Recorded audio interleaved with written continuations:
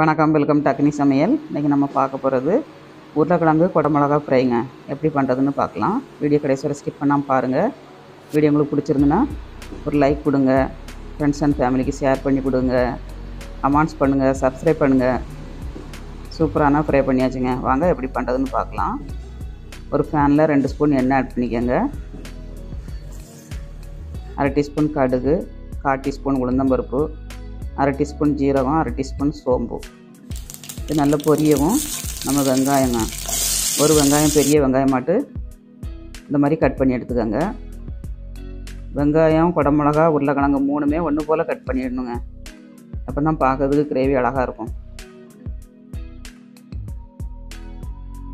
ரெண்டு கொத்து கருவேப்பிலை ஆட் பண்ணிக்கலாம். ரொம்ப நல்லா வதங்கக்கூடாது. ஓரளவுக்கு கண்ணாடி பதத்துக்கு வந்த உடனே நம்ம உருளைக்கிழங்கு ஆட் பண்ணிக்கணுங்க.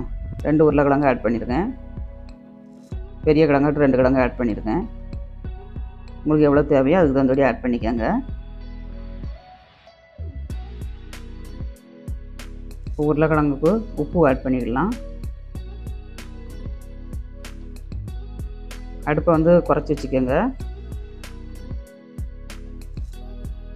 மீடியம் ஃப்ளேமில் வச்சிங்கன்னா சீக்கிரமாக வெந்துடுங்க கொஞ்சம் நேரம் மூடி வச்சுக்கலாம்.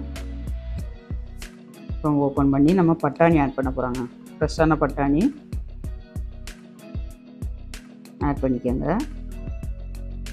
ரொம்ப டேஸ்ட்டாக இருக்குங்க. ரசத்துக்கு சாம்பார் சாதத்துக்கு பூரிக்கு சப்பாத்திக்கு சாதத்துக்கு எல்லாத்துக்குமே நல்லாயிருக்கும்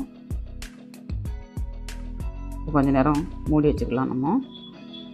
கொஞ்ச நேரத்துக்கு ஒருக்க கிண்டி விடுங்க வேர்த்து வடியும். அந்த மூடி வைக்கும்போது நம்ம வேர்த்து வடியும் பாருங்க. அந்த ஈரத்துலேயே வெந்துடும் தக்காளிங்க.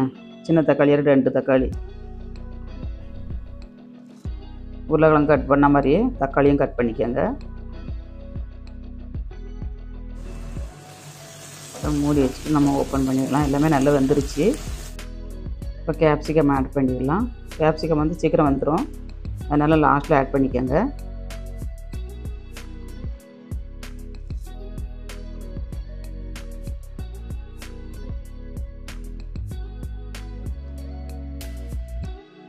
உருளைக்கிழங்கு வந்து நல்லா வெந்துருச்சுங்க. சூப்பராகிட்டு வந்துருச்சு.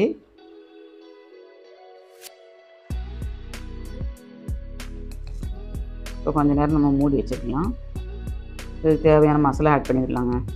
இஞ்சி பூண்டு பேஸ்ட் அரை ஸ்பூன் ஆட் பண்ணிக்கோங்க.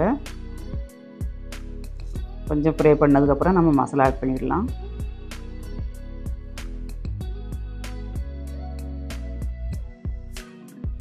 இப்போ மசாலா வந்து ஒரு ஸ்பூன் வரமிளகா ஒரு ஸ்பூன் காஷ்மீரி மிளகா அரை டீஸ்பூன் வரமல்லித்தூள் ஒரு ஸ்பூன் கரம் மசாலா மஞ்சள் தூள் அரை டீஸ்பூன்.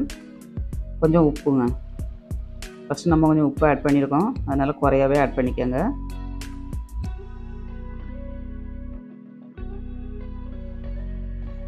இந்த மசாலாவோட பச்சை வடை போதிலையும் நம்ம கொஞ்சம் ஃப்ரை பண்ணிவிட்டு அடுப்பை ஆஃப் பண்ணிடணுங்க.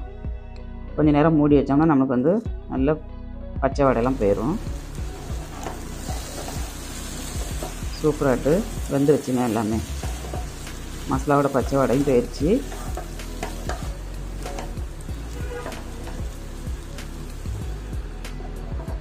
ஒரு ஒரு நிமிஷம் மூடி வச்சுட்டு நம்ம ஓப்பன் பண்ணிடலாம்.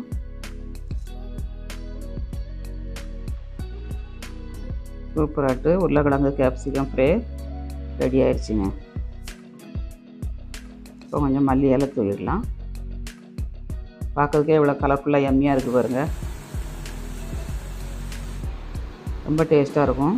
ட்ரை பண்ணிவிட்டு எப்படி இருக்குன்னு கமெண்ட்ஸ் பண்ணுங்கள்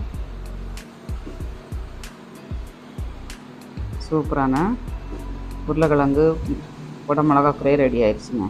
மீண்டும் நெக்ஸ்ட் இதில் சந்தி